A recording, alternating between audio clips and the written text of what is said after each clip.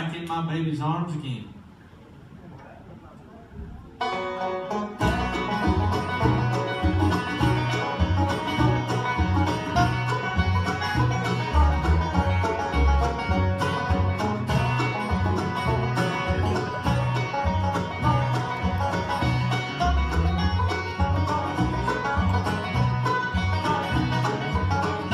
Honey peas are a Guitar strings are